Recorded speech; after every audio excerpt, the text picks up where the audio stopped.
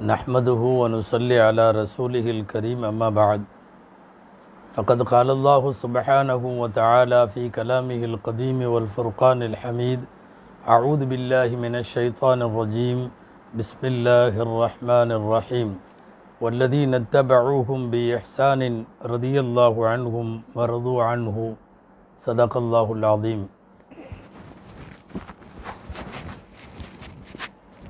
அளவற்ற அருளாளனும் நிகரற்ற அன்புடையவனுமாகிய எல்லாம் வல்ல அல்லாஹுவின் பெயரால் துவங்குகிறேன். அருமைநாயகம் முஹம்மதுர் ரசூலுல்லா சல்லல்லாஹு அலேஹி வசல்லம் அவர்களின் மீதும் நர்பாக்கியங்கள் நிறைந்த அவர்களுடைய உம்மத்தின் மீதும் குறிப்பாக இக்காணொளியில் இணைந்திருக்கிற நம் அனைவர் மீதும் எல்லாம் வல்ல அல்லாஹுவின் நல்லருள் என்றென்றும் நிறைவாக உண்டாவதாக. ஆமீன்.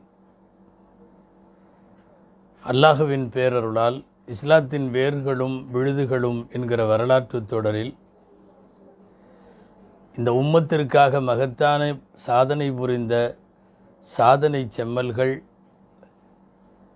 நினைவில் நினைவு கூறத்தக்க நல்ல ஆளுமைகளின் வரலாற்றின் வரிசையில் நான்காம் நூற்றாண்டின் நனிசிறந்த ஆளுமைகள் என்கிற தலைப்பின் கீழ் நாம் இன்றைய தினம் ஈராக்கில் துயில் கொள்ளும் இறைநேசர் அல்லாமா ஷிபிலி ரஹமத்துல்லாஹி அலிஹி அவர்களை பற்றி பார்க்க இருக்கிறோம். ஆன்மீக பெருமக்களின் வழித்தடத்தில் நீக்கமர நிறைந்திருப்பவர்கள் ஷிபிலி ரஹமத்துல்லாஹி அலிஹி அவர்கள். அபூபக்கர் ஷிபிலி என்றாலே ஆன்மீகத்தினுடைய தலைவாசல்கள் திறந்து கொள்ளும்.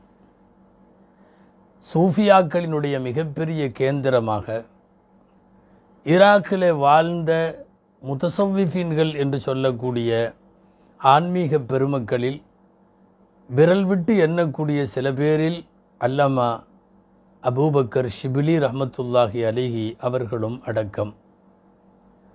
பொதுவாக சூஃபியாக்கள் உலகத்தின் யதார்த்த நிலையில் இருந்து இன்னும் கொஞ்சம் ஆழமாக போய் முழுமையாக உலகத்தை துறந்து விட்டு அல்லாஹுவை நோக்கி அடியெடுத்து வைக்கிற ஆன்மீக பெருமக்கள் தான் சூஃபியாக்கள்.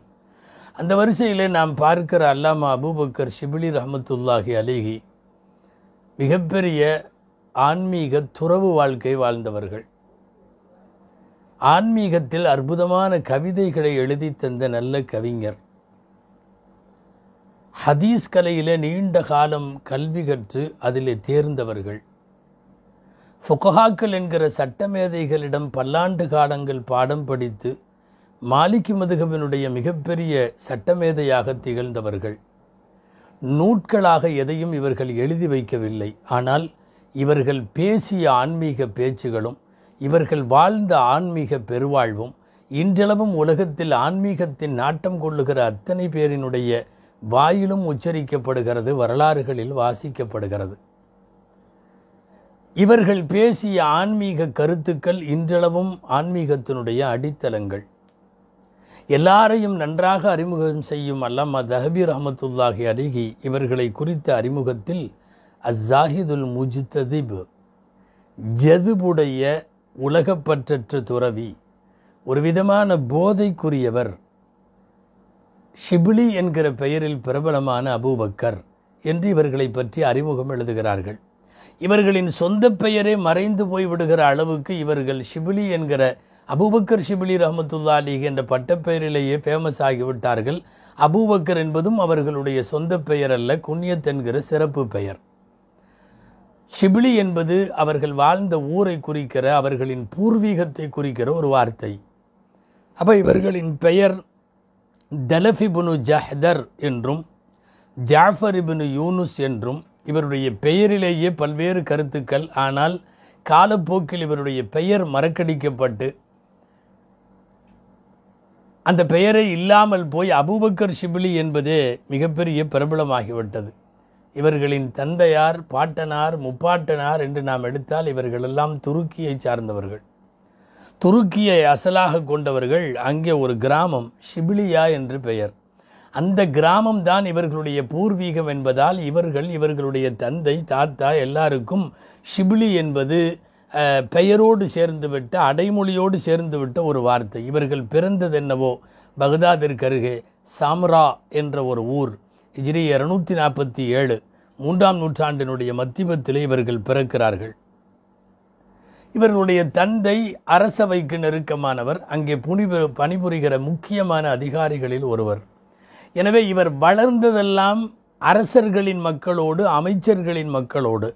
ஆக செல்வச் செழிப்பாய் வளர்ந்தவர்கள் அல்லமா ஷிப்லி ரஹமத்துல்லாஹி அலிகி அவர்கள். அல்லாஹுவின் பேரருளால் ஆரம்ப கல்விகள் நிறைய பெரிய பெரிய ஆலிம்களிடத்திலே கற்றுத் தேர்ந்தார்கள். அஹ்மத் இப்னு ஆதா ரஹமத்துல்லாஹி அலிகி இவர்களுக்கு மிக நெருக்கமான நண்பர்.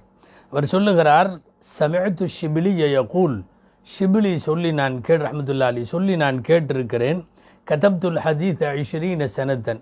என் வாழ்க்கையில் இருபது வருஷங்கள் ஹதீஸை எழுதி கொண்டிருந்தேன். ஹதீஸ் கலையில் தேர்வு தேர்ச்சி. ஒ கதப்துல் ஃபிக்ஹ ஐஷரீன சனத்தன் மீனல் ஃபுகஹா.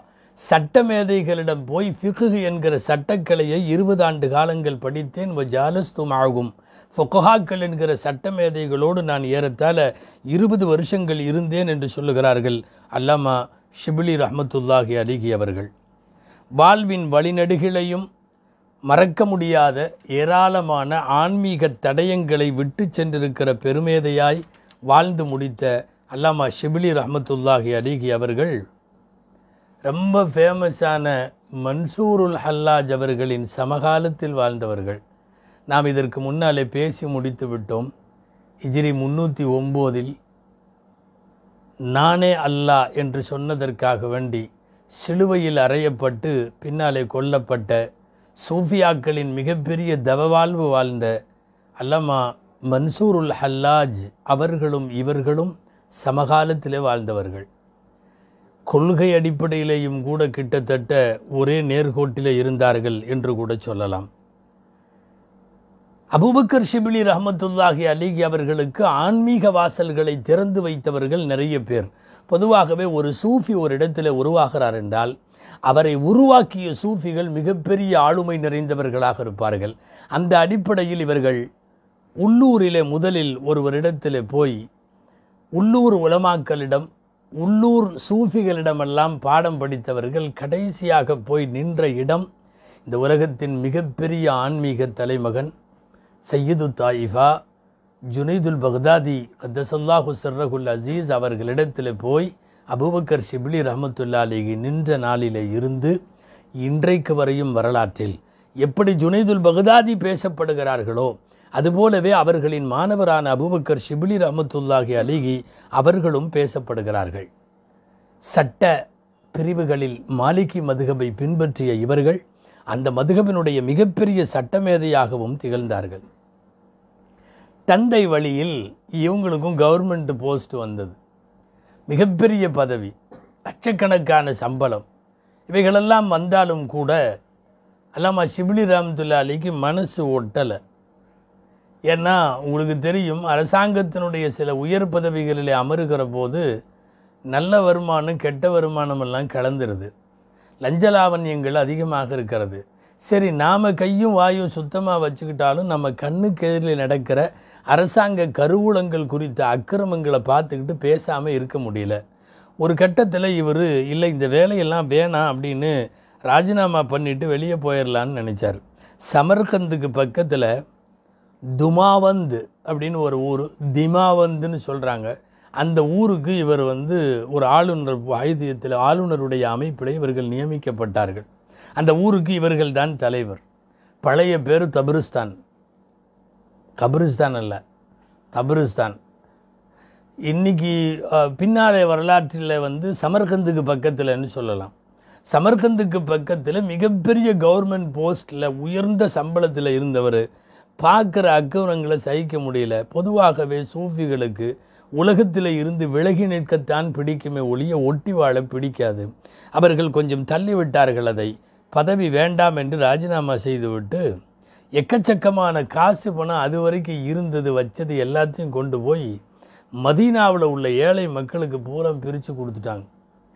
பிரித்து கொடுத்துட்டு பொதுவாக ஆன்மீக பெருமக்கள் கையில் காசு இல்லாமல் வாழுகிற தவவாழ்வு அவர்களுக்கு சொந்தமானது. அந்த அடிப்படையில் எல்லாத்தையும் கொடுத்து முடிச்சிட்டாங்க.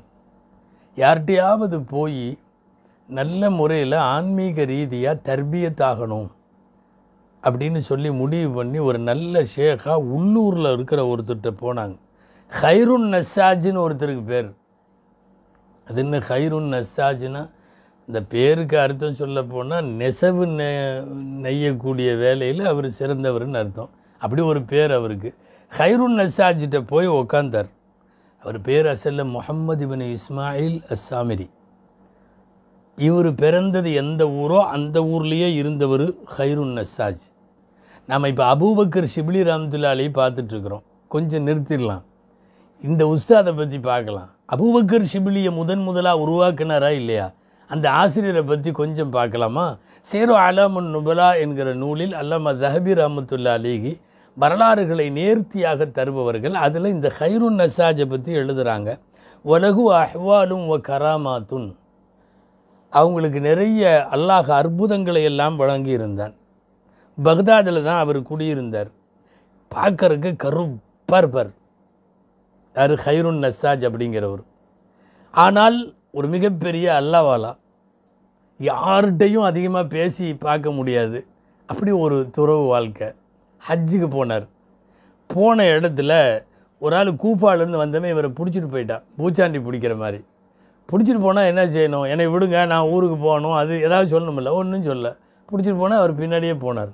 அவர் அப்படி ஒரு சாந்த ஸ்வரூபி பின்னாடியே போய் கூட்டிகிட்டே போய் அந்த ஆள் கூஃபாவில் இவரை பிடிச்சிட்டு போனவர் நிற்க வச்சு பார்க்கறதுக்கு கட்டம் கரைன்னு கருப்பாக இருக்கிறனால நீ இனிமேல் என் அடிமை. அந்த அபுதி. ஒ இஸ்முக மினல் யோமி ஹைர் உன் பேர் இனிமேல் ஹயிர்னு பேர் இனிமேல் நீ எனக்கு அடிமையாக இருக்கணும். வா வேலை செய்யணும் கூப்பிட்டு போய் கூஃபாவில் விட்டார். ஒன்றுமே சொல்லலை. ஃபதஹப மழகு ஒன்காத மழகு அப்படின்னு எழுதுகிறாங்க தஹபி ரஹமத்துல்லாலி அவர் சொன்னதையெல்லாம் கேட்டுட்டு அவர் கூடயே போய் உட்காந்துருக்கார் அந்த ஆள் கூஃபாவில் இவரை பிடிச்சிட்டு போனவர் நெசவு வே- வேலை பண்ணுறவர் அவர் இவரை உட்கார வச்சு பல நாட்கள் நெசவு வேலை பல வருஷங்களாக வாங்கியிருக்கார். எனவே நெசாஜ் அப்படின்னா நெசவு நெய்கிறவர்னு அர்த்தம். ஏற்கனவே இவர் பேரை அந்த கூஃபாக்காரர் வந்து ஹைருன்னு வச்சுருக்காரு. இந்த ரெண்டையும் சேர்த்து ஹைருன் நசாஜ் அப்படின்னு பேர் வச்சுட்டாங்க. ஹைருன் நசாஜுங்கிற பேர் ஃபேமஸ் ஆயிடுச்சு அல்லாஹ் சில பேர்த்துக்கு சூஃபியாக்களுக்கு நிறைந்த ஆயுள் கொடுத்தான். மவுதா போகும்போது நூற்றி இருபத்தி ரெண்டு வயசு. இந்த ஹைருன் நசாஜ் பெரிய சூஃபி. பொதுவாக சில பேர்த்துக்கு சூஃபி சூஃபிசம் தசவுப் இதெல்லாம் அலர்ஜியாக இருக்கும். ஆனால் உண்மை என்ன தெரியுமா? உலகத்தை தம் பக்கத்தில் நெருங்கவே விடாமல் அல்லாஹுவை மாத்திரம் உயர் குறிக்கோளாய் லட்சியமாய் இலக்காய் கொண்டு வாழ்ந்த பெருமக்கள் ஆன்மீக துறவிகள் சூஃபியாக்கள். அதில் இவர் ஒருத்தர். மகரிப் தொழுகைக்கு நூற்றி இருபத்தி ரெண்டாவது வயசு நின்று தொழுகிறார். அல்லாஹு அக்பர். நம்ம நாற்பத்தஞ்சு ஐம்பது வயசில் சேரில் உட்காந்துருவோம் இப்போல்லாம் நூற்றி இருபத்தி ரெண்டு வயசில் நின்று மகரிப் தொழுகிறார் தொப்புன்னு மயக்கம் போட்டு உழுகிறார். உளுந்த உடனே எல்லாம் அதையும் இதையும் பண்ணி வீட்டுக்கு கொண்டு வந்துட்டாங்க. வீட்டுக்கு கொண்டு வந்து வச்ச உடனே மவுத்து நெருங்கிடுச்சு வீட்டோட வாசலை பார்க்குறாரு. மற்றவங்க கண்ணுக்கு யாருன்னு தெரியல. அவர் கண்ணுக்கு ஏதோ தெரிஞ்சிருக்கு போல் இருக்கு இவர் தொழுவலை. ஒரு ரக்காய் தான் தொழுதுருக்காரு. விழுந்துட்டாரு மயக்கம் போட்டு தொழுக மகரிப்பு தொழுகணும்.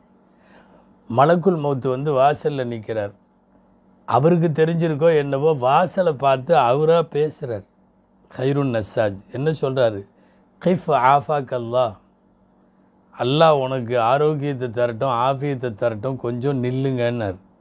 யாரா? மலக்குள் மூத்த.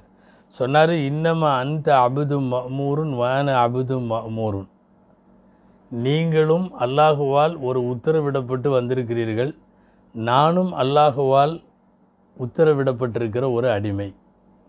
சொல்லிட்டு சொன்னார் ஒமா உமிர்த்த பிஹி லா எஃபூத்துக் அல்லாஹ் உங்களுக்கு என்ன ஏவி இருக்கானோ அது ஒன்றும் தப்பி போகாது. அதாவது எப்படியும் என் ரூகை நீங்கள் வாங்கிடுவீங்க அதில் ஒன்றும் சந்தேகம் இல்லை நான் எங்கேயும் தப்பிச்சு போகிறதில்ல உங்கள்கிட்ட தப்ப முடியாது.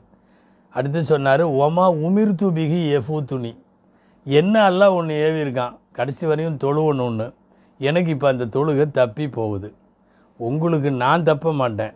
ஆனால் நீங்கள் என்னை இப்போவே பிடிச்சா எனக்கு தொழுகை தப்பிடும் ஃபதானி அம்ரி ஃபீமா உமிர்த்து என்னை விட்டுருங்க கொஞ்சம் நான் எனக்கு வந்த உத்தரவை நிறைவேற்றிடுறேன் சும்மம்தி அம்தி லிமா உமிர்த்த பிகி அதுக்கப்புறம் உங்களுக்கு உத்தரவிடப்பட்டதை நீங்கள் செய்யுங்க அப்படின்னு சொன்னார். சுருக்கமாக என்னை தூக்கிட்டு போகிறதுக்காக நீங்கள் வந்திருக்கீங்க. எனக்கு தொழுகை இன்னும் கடமை இருக்குது நான் அதை முடித்த உடனே உங்கள் உத்தரவு செய்யுங்க. அல்லாஹ் எனக்கும் உத்தரவு போட்டிருக்கான் தொழுவை சொல்லி நானும் அதை நிறைவேற்றிடுவேன். நீங்கள் என்னை கூட்டிகிட்டு போகணும் என் ரூகை எடுத்துகிட்டு போகணுன்னு இருக்கல்ல அதை நீங்கள் நிறைவேற்றிருங்க. ரெண்டு பேர்த்துக்கு சரியாக போயிடும்ட்டு தண்ணி கொண்டாங்க உதவு செய்கிறதுக்குன்னு கேட்டிருக்காரு தண்ணியை கொடுத்துருக்குறாங்க. தொழுது முடித்தார் கை காலையெல்லாம் நீட்டி அவராக படுத்துட்டாரு. படுத்துட்டு கண்ணையும் மூடிட்டாரு. மூடிட்டு கண்ணை மூடினதுக்கு அப்புறம் சொல்லியிருக்கார் அஷது அல்லா இலாஹ இல்லல்லா வஹ்தஹு ஷரீகலா வஷத் அன்ன முஹம்மதன் அப்துகு வரசூலுகு அதோட சரி ரூகு போயிடுச்சு இப்போ நம்ம பேசிகிட்டு இருக்கிறது எல்லாமே ஹைருன் நெசாஜ் அப்படிங்கிற ஒரு சூஃபியை பற்றி அந்த சூஃபிகிட்ட போய் தான் மண்டி போட்டு உட்கார்றாங்க யார்? அபூபக்கர் ஷிபிலி ராமத்துல்லாலி கவனத்தில் இருக்கட்டும் நாம் இன்றைக்கி பார்த்துட்ருக்கிற தலைப்புக்கு உரியவர் நான்காவது நூற்றாண்டினுடைய மிகப்பெரிய ஆளுமை அபூபக்கர் ஷிபிலி ராமத்துல்லாலி யோசிச்சு பாருங்க இந்த மாதிரி உள்ள உஸ்தாதுகள்கிட்ட இந்த மாதிரி உள்ள ஷேக்குகள்கிட்ட தர்பியத்தாகும் போது அவர்களினுடைய நிலைமைகள் எப்படி இருக்கும் என்பதை நாம் சொல்ல வேண்டிய அவசியமில்லை அந்த அளவிற்கு உள்ளவர்கள். இந்த ஹைருன் நசாஜிட்ட கொஞ்ச நாள் தர்பியத்தானதுக்கு அப்புறம் ஹைருன் நசாஜ் ஒரு வேலை பண்ணார். என்ன தெரியுமா? தம்பி ஷிபிலி நீ ஒரு வேலை செய். நான் சொல்கிற இடத்துக்கு போறியா? அப்படின்னு கேட்டுட்டு நேராக ஜுனைதுல் பக்தாதி ரம்துல்லால்கிட்ட கொண்டு விட்டுட்டார். ஏற்கனவே ஹைருன் நசாஜ் மிகப்பெரிய ஆன்மீக பெருமகன். அவர் அவரை விட பெரியவர்கள். ஜுனைதுல் பகதாதி ரஹமத்துல்லா அலி. அதாவது வழியெங்கும் வழிமார்கள் வாழ்ந்த காலம் அது. கொண்டு போய் அங்கே விட்டுட்டார். ஜுனைதுல் பகதாதி ரஹமத்துல்லா அலிக்கு ஷிபிலி ரஹமத்துல்லா அலி ரொம்ப பிடிச்சி போச்சு. காரணம் இவருடைய தக்குவா இவருடைய இபாதத் இவருடைய உலக பற்றற்ற வாழ்க்கை எதையுமே லட்சியம் பண்ணிக்காமல் எல்லாமே அல்லாதான் இருக்கிற இந்த பாணி. ஒரு உண்மையான நல்ல சூஃபி கிடச்சிட்டாருன்னு நினச்சார். பக்கத்தில் வச்சுக்கிட்டார். அப்படியே வச்சிருந்து தர்பியத்தெல்லாம் பண்ணார். ஒரு கட்டத்துக்கு மேலே ஷிப்லியை ரம்துல்லா அலியை த தர்பியத்து பண்ண முடியலை. காரணம் அவங்க எல்லாம் அவுட் ஆஃப் கண்ட்ரோலில் போயிட்டாங்க. ஜுனைதுல் பகதாதி ரஹமத்துல்லாஹி அலிகி போதிக்கிற சூஃபீசத்தை விடவும் மேலே போயிட்டாங்க. ஒரு ஒரு ஒரு தானாக ஒரு ஜதுபுடைய ஆழத்தில் திடீர்னு சத்தம் போடுறது திடீர்னு குதிக்கிறது. சபையில் யார் இருக்கான்னே தெரியாமல் எந்திரிச்சு ஆட்டம் போடுறது. எந்த அளவுக்கெல்லாம் போயிட்டாங்க? வரலாறில் வருது இதுக்காக சில நேரம் இவரை சிறையிலையெல்லாம் அடைச்சாங்க. ஏன்னா பப்ளிக்குக்கு இடையூறு ஆகுது. இவர் செய்கிற சில அமல்களும் இவர் கொண்டிருக்கிற சில கொள்கைகளும் பொதுமக்களுக்கு ஒத்து வராதவை. எனவே பொதுவாக சூஃபிகளை தவறாக புரிந்து கொண்ட காலங்களில் அப்படித்தான் செய்தார்கள். மன்சூருல் ஹல்லாஜ் தூக்கிலிடப்பட்டது அந்த அடிப்படையிலே தான் நாம் முன்னாலே சொல்லி இருக்கிறோம் அவர்களுடைய வரலாற்றை பேசுகிற போது. இவரையும் அப்பப்போ பிடிச்சி ஜெயிலில் எல்லாம் போட்டாங்க. உஸ்தாதான ஜுனைதுல் பக்தாதி ரஹமத்துல்லாலி கொஞ்சம் சொன்னாங்க எப்பா இந்த கொஞ்சம் போதையை குறைச்சிக்கலாமல்ல அப்படின்னு சொன்னாங்க. போதைனா இது ஆன்மீக போதை. இது ஒரு மாதிரியான ஜதுபு. ஜுனைதுல் பக்தாதிட்டியே ஷிப்லியை பற்றி நீங்கள் என்ன நினைக்கிறீங்கன்னு கேட்டாங்க ரஹமத்துல்லா அலி அப்போது ஷிப்லி ரஹமத்துல்லா அலி சொன்னாங்க அஸ் சக்ரான் அவர் ஒரு விதமான போதையில் உள்ளவர். வலவ் அஃபாக்க மின் சக்ரிஹி லஜா மின்ஹு இமாமு யுன்டஃபி அவர்கிட்ட மட்டும் இந்த போதை தெளிஞ்சதுன்னா இந்த உம்மத்துக்கு பலன் தரும் பெரிய இமாம் ஒருத்தர் கிடைப்பார். ஏங்க இருபது வருஷம் அதீச படித்தவர் இருபது வருஷம் ஃபிக்கு என்கிற சட்டக்களை படித்தவர் பல்லாண்டு காலங்கள் ஆன்மீகத்தை படித்தவர் இவ்வளோ பெரிய ஒரு ஆள் கிடைக்கணுமல்ல? என்ன? திடீர்னு போதைக்கு போகிறதும் திடீர்னு தன்னிலை மறந்து குதிப்பதும் ஜெதுவும் இந்த மாதிரி நிலைமையில் போகிறதுனால கண்ட்ரோலில் அவர் இல்லை. அவர் மட்டும் கொஞ்சம் கண்ட்ரோலாக இருந்தால் இந்த உம்மத்திற்கு மிகப்பெரிய ஒரு இமாம் கிடைப்பார் என்று அல்லாமா ஜுனைதுல் பகதாதி ரமத்துல்லாஹி அலிகி இவர்களை பற்றி சொல்லியிருக்கிறார்கள். சட்ட மேதைன்னா அவ்வளோ பெரிய சட்ட மேதை ஆனால் யாருக்கும் பத்துவா கொடுக்கறது இல்லை எந்த கிதாபும் எழுதலை. அதீசுகளை இருபது வருஷம் அவங்க எழுதுனாங்களே ஒழிய அது சம்பந்தமான ஆய்வுகளில் ஈடுபடலை அதீசு பாடம் நடத்தலை. எப்போ உக்காந்தாலும் ஆன்மீகம் தான் எப்போ உக்காந்தாலும் ஜுகுத் என்கிற உலகத்தை துறப்பதை பற்றி ரகுபத்து இழல்லா சுலூக்கு ஃபில்லா என்று சொல்லக்கூடிய அல்லாவை நோக்கி நகர்ந்து போவது எப்படி? இதை பற்றி தான் காலம் பூரா பேசிகிட்டு இருந்தாங்க. ஆனால் தெரியும். அதீசுகள் தெரியும் சட்டம் தெரியும். ஒரு சபையில் வச்சு உலமாக்கள்லாம் நிறைஞ்ச சபையில் கேட்டாங்க ஷிப்லிட்ட. சொல்லுங்க.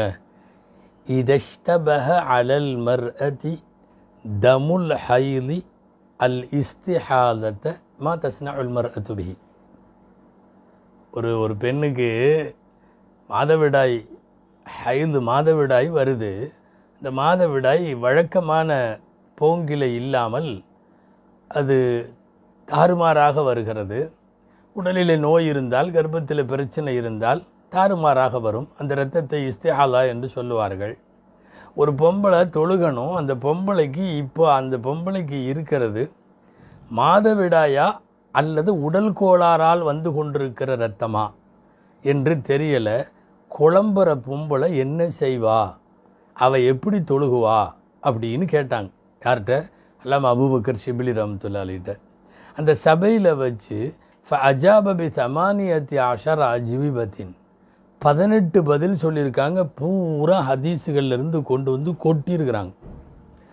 எப்பொழுதெல்லாம் மாதவிடாய் தடம் மாறுகிற போது அது வேறு மாதிரி பயணிக்கிற போது அதில் குழப்பம் ஏற்படுகிற போது உடல் ரீதியான பிரச்சனைகளால் கசிவு ஏற்படுகிற போது இது என்னென்னு சொல்லி பதினெட்டு ஜவாபுகள் அத்தனையும் அதிசுகள் அங்கே உட்காந்துருந்த ஒரு பெரிய ஒரு சட்டமேதை அபு இம்ரான் ஒருத்தர் உட்காந்துருந்தார் ஸ்பாட்டில் அந்த பதினெட்டு ஜவாபும் சொல்லி முடித்த உடனே எந்திரிச்சு போய் நெத்தியில் முத்தம் கொடுத்து இவ்வளோ பெரிய ஃபக்கீஹா நீங்கள் அப்படின்னு எல்லாம் பேசியிருக்காங்க. நான் சொல்ல வர்றது அபுபக்கர் ஷிபிலி பெரிய ஹதீஸ்கலை வல்லுனர் பெரிய சட்டமேதை. ஆனால் அவற்றில் அவர்கள் ஈடுபடவில்லை அவ்வளவுதான் அந்த அளவிற்கு அல்ல அபாரமான அறிவாற்றலை எல்லாம் அவர்களுக்கு கொடுத்திருந்தான். சில நேரம் பெரிய பெரிய ஆளுகள்லாம் உட்கார்ந்துருக்கிற மஜ்லிஸ்லேயே அவருக்கு வந்து ஜெதுப்பு வந்துடும் இரவு நேரம் தூக்கம் வரக்கூடாதுங்கிறதுக்காக கண்ணில் உப்பு பொடியை எடுத்து கண்ணில் தூவிக்கிறது. அவர்களுடைய வழக்கம். தூங்கக்கூடாதுங்கிறதுக்காக. அதாவது நீங்கள் சில நேரம் இப்படி நினைக்கலாம். இந்த அளவுக்கெல்லாம் தன்னை வருத்திக்கிட்டு இப்பாதை செய்யணும்னு என்ன அவசியம் இருக்குது பறந்து மட்டும் தொழுதுட்டு நம்மளை மாதிரி ஜம்முன்னு வீட்டில் போய் படுத்துக்கலாமல்ல இப்படிலாம் நினைக்கலாம். ஆன்மீக பெருமக்களுக்கு தெரியும் அவர்கள் பகலை விட இரவை விரும்புவார்கள். பகல் தொழுகையை விட இரவு வணக்கத்தை விரும்புவார்கள். ஊரும் உலகமும் உறங்கும் வேளையில் ரப்புக்கு முன்னாலே தக்பீர் கட்டி நிறுத்த நிற்பதை அவர்கள் பாக்கியமாக கருதுவார்கள். இதெல்லாம் வந்து ஆன்மீக பெருமக்களினுடைய அன்றாட வாழ்க்கை. கண்ணில் உப்பு தூவிக்கு வரான். இவர் எழுதின கவிதைகளை விளங்கினா ஒன்று பெரிய ஆன்மீகவாதி ஆயிடுவாங்க இல்லாட்டி பைத்தியம் ஆயிடுவாங்க அந்த அளவுக்கு பயங்கரமான ஆன்மீகத்தினுடைய ரசத்தை கொண்டு வந்து அப்படியே ஊய்த்து கொடுக்கிற அற்புதமான கவிதைகளை இவர்கள் எழுதியிருக்கிறார்கள்.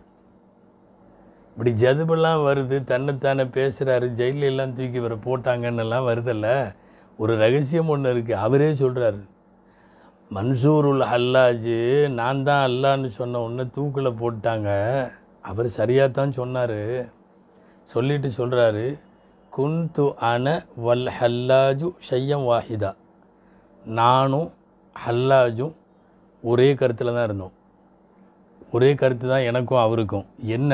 இல்லை அன்னகு அல்லன கத்தம் தூ அவர் வெளிப்படுத்திட்டாரு நான் வெளிப்படுத்தலை. அவ்வளோதான் அப்படின்னா என்ன? அனல்லாங்கிற கருத்தில் தான் இருந்திருக்கிறார் அவர். காணும் பொருளெல்லாம் அல்லாஹ். எல்லா உஜூதிலேயும் உலகத்தில் இருக்கிற பொருட்களின் எல்லாவற்றிலும் ஊடுருவி இருப்பது அல்லாஹ். இதில் உள்ள விவரமாக இறங்க வேண்டாம். பொதுமக்களுக்கு குழப்ப நிலை ஏற்படக்கூடும். ஆக ஹல்லாஜினுடைய கொள்கையில் இவர்கள் இருந்திருக்கிறார்கள் என்பது ஜுனைதுல் பகதாதி சொன்னது சரியாக போச்சா? இவர்கள் ஒரு போதையில் இருக்கிறார்கள். அந்த போதை அதுதான் ஆன்மீகத்தினுடைய பயங்கரமான போதை. பொதுவாக ஒவ்வொருத்தரும் குரானுக்கு அவங்கவுங்க பார்வையில் அதுக்கு தப்சீர் செய்வாங்க. சில பேர் சயின்ஸ் ரீதியாக குரானை தப்சீர் செஞ்சுருக்கிறாங்க. சில பேர் வெறும் ஹதீஸுகளை மட்டும் வச்சு இப்போ இபுனுகத்தீர் கத்தீர் எடுத்திங்கன்னா ஹதீஸை மட்டும் வச்சு குரானுக்கு தப்சீர். ஜமக்ஷரி ராமத்துல்லாலி எடுத்திங்கன்னா அறிவியல் அக்கலை அறிவை மட்டும் வச்சு தப்சீர். இப்படி ஒவ்வொருத்தரும் குரானுடைய தப்சீர் அவங்கவுங்க டேஸ்ட்டில் பண்ணுவாங்க. இவர்கிட்ட போய் குரானில் நீங்கள் எந்த ஆயத்து கேட்டாலும் சரி அதை வந்து சூஃபியாக்களினுடைய தசவுப் என்கிற ஆன்மீக பாணியில் தான் இவர் வந்து இது செய்வார். அந்த மாதிரி தப்சீர்கள் நிறைய இருக்குது ரூஹுல் மஹானி ரூஹுல் பயான் அப்படின்னு எல்லாம் சில தப்சீர்கள் இருக்கிறது. அதுவெல்லாம் ஆன்மீக தளத்தில் உள்ளவை.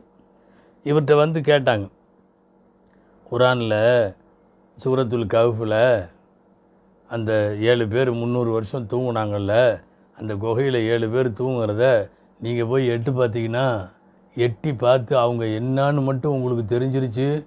ஒரே ஓட்டம் பிடிச்சி ஓடிடுவீங்கன்னு எல்லாம் சொல்கிறான் ல வித்தலாத்த அலைஹிம் ல வல்லைத்த மின்கும் ஃபிராரன் வல முலித்த மின்கும் ரோபா அவர்களை நீங்கள் தெரிந்து கொண்டால் ஓட்டமாக ஓடிடுவீங்க கல்பு பூரா பயம் வந்துடும் அப்படின்னு ஆயத்து வருது. அதுக்கு என்னங்க அர்த்தம்னு போய் யார்கிட்ட கேட்டாங்க? ஷிபிலி ராமத்துல்லாட்ட அவர் சொன்னார் லவித் அலா தாலல் குல்லி ல ஃபரத்தும் இலைனா. உங்களுக்கு மட்டும் உலகத்தோட எல்லா விஷயமும் தெரிஞ்சிச்சுன்னா ஓடி விரண்டோடி எங்கிட்ட வந்துடுவீங்கன்னு அர்த்தம். இதுதான் எல்லாம் சொல்கிறான் இது வெறுமனே குகைவாசிகளை பற்றி உள்ளதல்ல. உலகத்தில் உள்ள ரகசியங்கள் உலகம் எவ்வளவு மோசமானது அற்பமானது அப்படின்னு உங்களுக்கு தெரிஞ்சிச்சுன்னா ஆட்டோமேட்டிக்காக நீங்கள் எங்கிட்ட ஓடி வந்துடுவீங்கன்னு அர்த்தம். ஒவ்வொருத்தரும் அவங்க ஒரு ஆயத்து இருக்க குரானில் மூமின்கள் தங்கள் பார்வையை தாழ்த்தி கொள்ளட்டும். பிரபலமான வசனம் சூரத்து நூறு குள்ளில் முமினின யகுத்து மின் அபிசாரியும் அபுபக்கர் சிப்லி ரஹமத்துல்லாட்ட கேட்டாங்க இப்படி ஆயத்து வருதே யகுந்து மின் அபிசாரியும் பார்வைகளை தாழ்த்துங்கன்னு சொல்லி இதுக்கு என்ன அர்த்தம்? அவர் சொன்னார் மண்டையில் ஒரு கண் இருக்குல்ல இந்த முகத்தில் ஒரு கண் இருக்குல்ல இதில் பார்வையை தாழ்த்தணுன்னா ஹராமே அறவே இந்த கண்ணில் படக்கூடாதுன்னு அர்த்தம். இன்னொன்று இருக்குது கல்பில் கண் இருக்குது. அது வந்து அல்லாவை தவிர வேறு யாரையும் உள்ளுக்குள்ளே விடக்கூடாதுன்னு அர்த்தம். குள்ளில் முக்மினின எகுந்தும் என் அபிசாரியும் முக்மின்கள் தங்கள் பார்வையை தாழ்த்தட்டுங்கிறதுக்கு நாம் என்ன சொல்கிறோம் அந்நிய பெண்ணை பார்க்காத தகாத காட்சிகளை பா அவர் சொல்கிறாரு இந்த கண்ணில் இருந்து எந்த ஹராமும் படக்கூடாது. கல்பில் அல்லாவை தவிர வேறு எதுவும் உள்ளே போகக்கூடாது. இதுக்கு பேர் தான் பார்வையை தாழ்த்த வேண்டும். அதாவது ஒவ்வொருத்தரும் ஹதீஸுக்கு தப்சீருக்கு அவங்கவுங்க டேஸ்ட்டில் தான் செய்வாங்க. ஒரு மனிதனுடைய சிறந்த சம்பாத்தியம் அவனுடைய வலது கையால் அவன் சம்பாதிப்பது சம்பாரித்து சாப்பிட்றது. இது ஹதீஸில் இருக்குது பிரபலமான ஹதீஸ். ஹைரு கஸ்பில் மர் இ அமலு எமீனிஹி இது ஹதீஸ். ஒரு மனிதனுடைய சம்பாத்தியத்தில் சிறந்த சம்பாத்தியம் அவனுடைய வலது கையால் அவன் செய்த உழைப்பினுடைய சம்பாத்தியம். அபுபக்கர் சிபிலி ரஹமத்துல்லாட்ட ஒரு தடவை இந்த ஹதீஸுக்கு அர்த்தம் கேட்டாங்க சபையில். இந்த ஹதீஸுக்கு என்ன அர்த்தம்னு? ஒரு தடவை ஒன் செகண்ட் நீங்கள் அந்த ஹதீஸை நல்லா கேட்டுங்க. ஒரு மனிதனின் சிறந்த சம்பாத்தியம் அவனுடைய வலதுகை உழைத்து சாப்பிடுவது. இதுதானே? இந்த ஹதீஸுக்கு அவங்க விளக்கம் சொல்கிறாங்க நைட்டு வந்த உடனே ஒரு கப்பில் தண்ணி எடுத்துகிட்டு ஒது செஞ்சுட்டு தொழுகைக்கு தயாராக வந்து தொழுது இரவு தொழுகையை மூடி கையை இப்படி நீட்டு அல்லா தருவான். இதுதான் உன்னுடைய கை சம்பாதிக்கிற சிறந்த சம்பாத்தியம். அவ்வளோதான் நாம் அந்த ஹதீஸுக்கு கடைவீதி போகணும் உழைக்கணும் சம்பாதிக்கணும் ஹலாலு பொண்டாட்டி பிள்ளையை காப்பாற்று இந்த கோணத்தில் பார்ப்போம் இது வெளிப்படையான அர்த்தம். சூஃபியாக்கள் அந்த ஹதீஸை பார்க்குற கோணம் வேற. நள்ளிரவு நேரத்தில் ஒருவன் தொழுது முடித்து விட்டு ரப்பிடத்திலே கையேந்தினால் இவன் வாழ்க்கையினுடைய சிறந்த சம்பாத்தியம் இந்த ரப்பு கை நீட்டின உன்னை அல்லாஹ் உனக்கு கொடுப்பான் ஃபதாலிக்கு கஸ்பு எமீனிக் இதுதான் உன்னுடைய வலது கையின் சம்பாத்தியம் என்று சொல்லுகிறார்கள் அல்லாமா அபூபக்கர் ஷிபிலி ரஹமத்துல்லாஹி அலிஹி. அவங்க எல்லாமே கல்பில் தான் வேலை உழைப்பு செஞ்சவங்க. இந்த நாக்கில் கையில் சுபான்லா சுபான்லா சுபான்லா இது நம்மளை மாதிரி வெளிப்படையாக உள்ளவங்களுக்கு பொருந்தும். ஆன்மீக பெருமக்கள் நிறைய பேர் இந்த கையில் என்றது தஸ்பியெல்லாம் கிடையாது. அவங்க கல்பு திக்ரு செய்ய ஆரம்பிச்சிடும் அவங்க கல்பு தருவது சொல்ல ஆரம்பிச்சிடும் கல்பில் அல்லா அல்லான்னு சொல்லும். அபுபக்கர் சிபிலி ரஹமத்துல்லா அதை சொல்லியிருக்கிறாங்க. கண்ணு தெரியாத குருடன் ஒரு பொருளை வந்து அவன் தெரியணும்னா தொட்டு பார்த்து தான் தெரியுவான் என்ன கண்ணு தெரியாது. அவங்களே சொல்கிறது லைசலில் அமா மின் ருயத்தில் ஜவுஹரி இல்லா மஸ்ஸஹா. அவன் ஒரு கண் தெரியாதவன் ஒரு பொருளை பற்றி தெரியணும்னா தொட்டு தெரிஞ்சுக்குவான். அந்த மாதிரி அல்லாஹுவை அறியாதவர்கள் நன்றாய் அறியாதவர்கள் அவங்க என்ன செய்வான்னா இல்லை தக்கரஹூபில் லிசான் நாவில் திக்ரு செய்வாங்க அப்படிங்கிறார். அப்படின்னா என்ன அர்த்தம்? அல்லாவை நல்லா அறிஞ்சவங்க நாவில் திக்ரு செய்ய மாட்டாங்க. அவங்க கை என்னது? அவங்க கல்பு திக்ரு செய்ய ஆரம்பிச்சிடும் சுருக்கமாக சொல்ல போனால் இப்போ நாமெல்லாம் சுபான்லா சுபான்லான்னு வாயில் சொல்லிட்டு இருக்கிறது அவர் என்ன சொல்லுறார் தெரியுமா? குருடன் தொட்டு பார்த்து தெரிந்து கொள்ளுவது போல் இவர்கள் வாயிலே அல்லாவை திக்ரு செய்கிறார்கள். உண்மையான திக்ரு அப்படிங்கிறது கல்பு திக்ரு செய்யும். இந்த நப்சின் மீது மிக கடுமையாக போராடி அதற்காக உழைத்தவர்கள். ஜுனைதுல் பகுதா அபுபக்கர் ஷிபிலி ராமத்துலாலி சபையில் பேசும்போதெல்லாம் சொல்லுவாங்க நீ அல்லாட்ட குன் ம மவுலாக்க மிசல சபியி ம உம்மி. அல்லாட்ட நீ எப்படி இருக்கணும்? ஒரு குழந்தை தாயிட்ட இருக்கிற மாதிரி இருக்கணும். தத்ரிபுகு வயமு சுகா அவ தான் அடிப்பா அடித்ததுக்கப்புறம் போய் அந்த குழந்தை அந்த தாயையே பிடிச்சிக்கும். சொல்லும் யகூலு யா உம்மி லா அழுது அம்மா இனிமேல் நான் செய்ய மாட்டேன். அம்மா நான் இனிமேல் செய்ய மாட்டேன். அடித்த அடித்த தாயிடம் போய் மீண்டும் அந்த குழந்தை உக்காந்துக்கிட்டு அம்மா நான் இனிமேல் பண்ண மாட்டேன். இது மாதிரி நீ அல்லாட்ட எரி அவன்தான் உன்னை அடிப்பான். அவன்தான் உனக்கு பலா முசீபத்தை கொடுப்பான். எங்கேயும் போயிடாத அவன்கிட்டயே திரும்ப போ. அவனையே பிடிச்சிக்கோ. யாரெல்லாம் நான் செய்ய மாட்டேன். அபுபக்கர் ஷிபிலி ரஹமத்துல்லாஹி அலிஹி நடத்திய ஆன்மீக பாடங்கள் இவ்வளவு தரம் வாய்ந்தவை. துனியாவை பக்கத்தில் இவங்கெல்லாம் விட்டதில்லை. சொல்லுவாங்க இதா அரத்த அன் தந்துர இல துன்யா பி ஹதாஃபீரிஹா துனியாவை முழுசாக தெரிஞ்சுக்கணும். அப்படின்னு உனக்கு ஆசை இருக்கா? ஃபந்தூர் இலல் மஸ்பலா. ஃபந்தூர் இலல் மஸ்பலா. குப்பை தொட்டிக்கு போ. டோட்டல் துனியாவும் அதுதான் குப்பை தொட்டியில் ஒரே ரகத்தில் குப்பை இருக்காது. ஒருத்தன் கொண்டு வந்து கழிவை கொட்டுவான் ஒருத்தன் வந்து நஜீஸை போடுவான் ஒருத்தன் பழைய சோறை போடுவான் ஒருத்தன் மிச்சமான சோத்தை போடுவான். என்னென்னமோ கிடக்கும் இல்லையா? அத்துன்யா பிஹதா ஹதாஃபீரிஹா மிஸ்பலா. டோட்டல் துன்யாவும் குப்பை தொட்டி நீ தெரிஞ்சுக்கணுன்னா அதை தெரிஞ்சுக்கோ. அதே மாதிரி உன்னோட நஃப்ஸை தெரிஞ்சுக்கணுமா? இதா அரத்த அன் தந்துர இல நஃப்சிக் உன்னுடைய நஃப்ஸை பார்க்கணுன்னா ஒன்றும் இல்லை. ஃபஹுத் கஃபம் மின் துராபின். ஒரு கையில் மண் எடுத்துக்கோ வச்சுக்கோ. அதிலிருந்து தான் நீ வந்த. அதில் தான் எல்லாம் உன்னை படைச்சான். அதில் தான் மௌத்தாக போகிற அதிலிருந்து தான் எழுப்ப போகிற நல்லா தெரிஞ்சுக்கோ உன் நஃப்ஸும் மண்ணும் ஒன்று உன் நப்சும் உன் கையில் இருக்கிற மண்ணும் ஒன்று இல்லை இதை விட நான் என்னை பற்றி தெரிஞ்சுக்கணும். கொஞ்சம் மோசமாகவே சொல்லிட்டார் அதில். வைதா அறத்த அன் தந்தூர். ஒன்றை நீ பார்க்கணுன்னாமா அந்த நீ யார் நீ என்னன்னு பார்க்கணுன்னா ஒன்றும் இல்லை கழிவறைக்கு போனதற்கு பிறகு உன்னிடமிருந்து எது வெளியேறுமோ அதுதான் நீ. உன்னுடைய முன்பின் துவாரங்களின் வழியாக என்னவெல்லாம் வெளியேறுமோ அதுதான் நீ. பொதுவாக சூஃபியாக்கள் அசிங்கமாக பேசுவதாக தெரியலாம். இந்த துனியாவினுடைய அசிங்கத்தை ரொம்ப ஆழமாய் உணர்ந்தவர்கள் அந்த பெருமக்கள். அதிலே அல்லாமா அபுபக்கர் ஷிபிரி ரஹமத்துல்லா அலிஹி இவ்வளவு பெரியவர்கள். இவங்க காலத்தில் அபுபக்கர் பின் முஜாஹித்னு ஒருத்தர் இருந்தார். பெரிய ஆலிம். யாருக்கும் ம்ஹும், தலை வணங்க மாட்டார். கட்டுப்படவும் மாட்டார். அரசர் வந்தாலும் சரி அமைச்சர் வந்தாலும் சரி உட்காந்தா இருப்பார் எந்திரிச்சு நிற்க மாட்டார். அப்படியே உட்காந்துருப்பார் எந்த அமைச்சர் வேணாலும் போகலாம் ஆனால் ஷிபிலி ரஹமத்துல்லா அலி வர்றாங்கன்னு தெரிஞ்ச உடனே எந்திரிச்சிட்டார். அபுபக்கர் முஜாஹித். மாணவர்களுக்கெல்லாம் ஆச்சரியமாக இருந்துச்சு. அவங்க போய் கேட்டாங்க அபுபக்கர் முஜாஹித்திட்ட யாருக்கும் சாமானியமாக எந்திரிக்க மாட்டீங்களே? நீங்கள் வந்து அபுபக்கர் ஷிபிலி வந்த உடனே எந்திரிச்சு நிற்கிறீங்களேன்னு கேட்டப்போ அவங்க சொன்ன செய்தி அபுபக்கர் ஷிபிலி ரஹமத்துல்லா அலி பற்றி நேற்று நைட்டு ஸல்லல்லாஹு அலைஹி வஸல்லம நான் கனவுல பார்த்தேன். அகுலுல் ஜன்னாவில் உள்ள சுவனவாதிகளில் ஒருவர் நாளை உனக்கு வருவார் உன்னிடம் வருவார் நீ அவருக்கு செங்கை செய் என்று நபிசல்லா அலிஸ்லம் எனக்கு சொன்னார்கள். அபுபக்கர் சிபிலி வந்தார் நான் எந்திரிச்சு நின்னேன் அன்னைக்கு நைட்டு மீண்டும் அவரை கண்டு நான் எந்திரிச்சு நின்றதுக்கு பின்னாடி ரசூலுல்லாவை இரண்டாவது இரவில் பார்த்தேன். இப்போ நபிசல்லா அலி சொல்லம் சொன்னார்கள் அக்ரம் த மின் அகிலில் ஜன்னா அக்ரமக்கல்லா. அகில ஜன்னாவில் சுவனவாசிகளில் ஒருத்தரை வந்து நீ சங்கை செய்தாய் அல்லாஹ் உனக்கு சங்கை செய்வானாகன்னு சொன்னாங்க. அப்போ நான் ரசூலுல்லாட்ட திரும்ப கேட்டேன். ஆமாம் அபூபக்கர் சிபிலி வாழ்க்கையினுடைய இவ்வளோ பெரிய உயரத்தை எல்லாம் அடைஞ்சிருக்காரே. அதுக்கு என்ன காரணம்னு கேட்டேன். நிறைய காரணங்கள். ஆனால் சல்லல்லாஹ் அலைஹி சொன்னது ஒரு காரணம். அதாவது அபூபக்கர் ஷிபிலியினுடைய ஆன்மீக படித்தரங்களுக்கு நிறைய காரணம் இருக்கலாம். அதில் ஒன்று சல்லல்லாஹு அலைஹி வசல்லம் கனவில் அபுபக்கரபின் முஜாஹித் அவர்களுக்கு சொல்லிக் கொடுத்தது. என்ன தெரியுமா? நாற்பது வருஷமாக அபூபக்கர் ஷிபிலி ஃபர்ந்து தொழுக முடிஞ்ச உடனே சுரத்து தௌபாவினுடைய கடைசி ரெண்டு வசனத்தை ஓதுவார். லக்கத்து ஜாக்கும் ரசூலும் பின் அன்ஃபுசிக்கும் அசீசுன் அலைஹிம் அனித்தும் ஹரீசுன் அலைக்கும் பில் முக்மினின் ரவுஃபுர் ரஹீம்.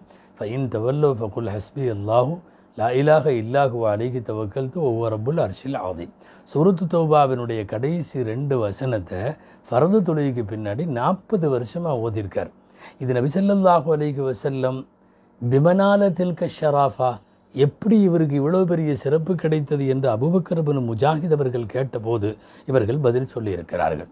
வாருங்கள் இப்படி வாழ்வாழ்ங்கு வாழ்ந்த சட்டமேதை ஆன்மீக கவிஞர் முஹத்திஸ் இது எல்லாத்துக்கும் மேலே ஆரிஃபு பில்லா என்கிற அல்லாஹுவை சரியான கோணத்தில் அறிந்த அபூபக்கர் ஷிபிலி ரஹமத்துல்லா அலிக்கு நீண்ட நெடுங்காலம் அவருக்கு ஹிதுமத் பணிவிட செஞ்சிட்டு இருந்த ஒருத்தர்.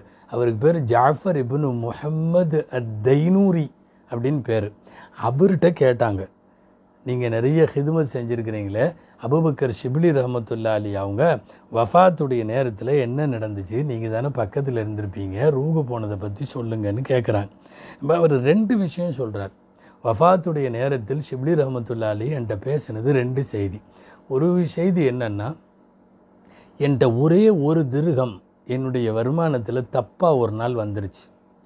ஏதோ யாருடைய காசோ அநியாயமாகவோ ஏதோ தவறாக வந்து விட்டது. ஒரு திருகம். நான் அதற்காக வேண்டி ஆயிரக்கணக்கான திருகங்களை அந்த ஒரு திருகத்துக்காக நான் சதக்கா பண்ணிட்டேன். அல்லாஹ் என்னை பிடிக்காமல் இருக்கணும்ன்ட்டு அப்படின்னு என்கிட்ட வஃபாத் முன்னாடி ஒரு விஷயம் சொன்னார். இது ஒன்று ரெண்டாவது விஷயம் என்னுடைய கல்வில் இருக்கக்கூடிய முக்கியமான எந்த ஆசையும் லட்சியமும் எதுவுமே எனக்கு கிடையாது. எப்பவும் நான் தயார். எனக்கு கொஞ்சம் உதவு செய்ய வையேன் அப்படின்னார். ரொம்ப உடம்பு சரியில்லாமல் இருக்கிறாங்க. அதனால் உதவு செய்ய வச்சாங்க அவரை. உதவு செஞ்சுட்டு வைக்கும்போது சாதாரணமாக உதவு செய்ய வச்சுட்டு விட்டாங்க. இந்த ஒதுவனுடைய சுண்ணத்துகளில் ஒன்று இருக்குது என்னென்னா தாடியை கோதி கழுவுதல். தண்ணியை இப்படி முகத்தில் போடுறதில்ல தாடியை கோதி கழுகணும் விரல்களை விட்டு. இந்த தா தஹலீல் உள்ள ஹியத்துன்னு சொல்லுவாங்க. இது ஒரு சுண்ணத்து. இது ஒரு விரும்பத்தக்க அம்சம் ஒதுவில். இவர் வேகமாக அவருடைய வஃபாத்துக்கு முன்னாடி ஒது செஞ்சவர் ஜாஃபர். இந்த ஜாஃபர் ஒது செய்ய வச்சவர் தாடியை கோத மறந்துட்டார். அதே சமயத்தில் உடம்பு சரியில்லாமல் படுத்திருக்கிற அபுபக்கர் ஷிப்லி ரஹமத்துல்லாஹி அலிகி அவங்களும் அவங்களுக்கும் வந்து தாடியை எடுத்து கோதவெல்லாம் முடியலை. அவ்வளோ இதாக இல்லை. ஒது செய்ய வைக்கிறவரை பார்த்து நாக்கை கடிச்சிருக்காங்க. அப்படி நாக்கை கடிச்சிருக்கிறாங்க அபுபக்கர் ஷிப்லி ரஹமத்துல்லாஹி. கடைசியில் கொஞ்சம் சிரமப்பட்டு அவர் கையவே பிடிச்சி யார் உதவு செய்ய வச்சாரோ அவர் கையவே பிடிச்சி கொண்டு போய் தாடியில் வச்சு கோத வச்சிருக்கிறாங்க. இதை சொல்லிகிட்டு இருக்கும்போது இவர் Jafar Jafar ibn Muhammad Dainuri அவர் சொல்லிகிட்டு இருக்கிறப்பவே அழுதுட்டார். அழுதுட்டு அவர் சொல்கிறாரு அவருடைய தாடியில் என்னுடைய கையை கொண்டு போய் நுழைத்து கோத வைத்தார் நானும் கோதி விட்டேன் அப்படின்னு சொல்லிட்டு ஜாஃபர் கேட்குறாரு மா தகூலூன் ஃபி ரஜுலின் லம் எஃபுத்துஹு அதபும் மின் அதாபி ஷரியத்தி இலா அன் யமூத். சரியத்தினுடைய சின்ன ஒரு அதபு எது? இந்த விரலை கோதுறது இந்த நா தாடியை கோதுறதெல்லாம். ஒரு சின்ன அதபு கூட ஒருத்தருக்கு லைஃப்பில் தப்பி போனது இல்லைன்னா அவரை பற்றி நீங்கள் என்ன நினைக்கிறீங்க என்று கேட்டு அழுகுவார்கள் ஜாஃபர் ரஹமத்துல்லாஹி அலிகி அவர்கள். பொதுவாக கொஞ்ச நாளாக உடம்பு சரியில்லாமல் படுத்தவங்க மௌத்தா போகிற அன்னைக்கு நல்லாயிட்டாங்க. இந்த அணையும் விளக்கு சுடர் விட்டு எரியும்னு தமிழில் சொல்லுவாங்க. ஆஃபாக போகிற நேரத்தில் நல்லா படையெடுத்து எரிஞ்சிட்டு ஆஃப் ஆயிரும். சில பேர்த்துக்கு மோசமாக இருக்கிற உடம்பு கூட மௌத்தா போகிற அன்னைக்கு நல்லா போயிடும் ஆஹா ரெடி ஆகிட்டாருன்னு நினைக்கிறப்ப ரூஹு போயிடும் அந்த மாதிரி இவருக்கு இருந்த உடல் வலிகள் வேதனைகள்லாம் வந்து அன்னைக்கு இல்லை. மௌத்தாகிற அன்னைக்கு. கரெக்டாக துல்ஹஜ் மாதம் பிற இருபத்தி ஏழு லாஸ்ட்டு ஜும்மாவுடைய நாள். ஹிஜ்ரி முந்நூற்றி முப்பத்தி நாலுன்னு சொல்கிறாங்க முந்நூற்றி முப்பத்தி அஞ்சுன்னு சொல்கிறாங்க துல்ஹஜ் மாதத்தினுடைய கடைசி ஜும்மா. அந்த கடைசி ஜும்மாவில் அடுத்தது மொஹர்ரம் பிறகுது. கடைசி ஜும்மா அன்னைக்கு அவர்கள் வஃபாத்தாகி விட்டார்கள் ஷஹாதத்து களிமாவோடு கடைசி நேர தொழுகையோடு பொதுவாக சொல்லுவாங்க இல்லையா? இந்த ரெண்டு விஷயம் சொன்னாங்கல்ல மௌத்தா போகிறப்போ ஒரு திருகம் தப்பாக ஏதோ வந்துருச்சு ஏதோ அநியாயமாக அதுக்கு பதிலாக பல்லாயிரம் கொடுத்துட்டேன். கடைசி வக்தையும் தொழுகு முடிச்சுட்டேன். அடிக்கடி துவா செய்வாங்க பெரியவர்கள். கடன் இல்லாமலும் கலா இல்லாமலும் மௌத்தாகணும்னு சொல்லுவாங்கல்ல. இந்த ரெண்டுமே இவங்க விஷயத்தில் கரெக்டாக நடந்திருக்கு. கடைசி வகுத்து தொழுகையை சுண்ணத்துகளில் முழு பேணுதலோடு அதையும் தொழுது முடித்து விட்டு வஃபாத்தான அல்லாமா அபூபக்கர் ஷிபிலி ரஹமத்துல்லாஹி அலிக் அவர்களை பக்தாதில் இமாமுல் ஆதம் அபுவனிஃபா ரஹமத்துல்லாவுடைய கபருக்கு பக்கத்தில் அபு ஹனீஃபா அலி இமாமுல் ஆதம் அடக்குனதுனால அந்த கபரிஸ்தானுக்கு ஆசமியா அப்படின்னு பேர் ஆதமியான்னு பேர் பழைய ஹிசானியான்னு சொல்லி பழைய பேர். இமாமுல் ஆதமுக்கு பின்னாடி அந்த கபிரிஸ்தானுக்கு பேர் அல் மக்பரத் மக்பரத்துல் ஆதமியா. அந்த ஆதமியா கபூரில் இமாம் அபு ஹனீஃபா அலிக்கு பக்கத்தில் இவங்க அடங்கியிருக்காங்க. இவர்கள் அடக்க ஸ்தலத்தை ஒட்டி ஒரு குபா கூட எழுப்பப்பட்டிருக்கிறது. அல்லாம அபுபக்கர் ஷிபிலி ரஹமத்துல்லாஹி அலிகவர்களை உலகம் முழுக்க இன்றைக்கும் கூட நல்லடியார்கள். தேடி தேடி வந்து அவர்களுடைய மகபராவிலே ஜியாரத்து செய்கிறார்கள். வாழ்வாங்கு வாழ்ந்து இந்த உம்மத்திற்கு ஆன்மீக பாடங்களை மிகப்பெரிய அளவில் சொல்லிக் கொடுத்து சூஃபியாக்களினுடைய ஞானிகளின் வரிசையில் அற்புத சேவையாற்றிய ஈராக்கில் இன்றைக்கு தூங்கிக் கொண்டிருக்கிற அற்புதமான இறைநேசர் அல்லாமா ஷிபிலி ரஹமத்துல்லாஹி அலிகி அவர்களை அல்லாஹு பொருந்தி கொண்டு மறுமையின் உயர் சுவனத்தை ஜன்னத்துல் ஃபிர்தோஸை வழங்குவானாக. அதுபோன்ற நல்லவர்களோடு நாதாக்களோடு நபிமார்களோடு அல்லாஹ் நம்மையும் சேர்த்து வைப்பானாக ஆமீன் வாஹர் தழ்வானான் அலமதுல்லாஹி ரபில் ஆலமீன் அஸ்ஸலாமு அலைக்கும் வரஹ்மத்துல்லாஹி வபரகாத்து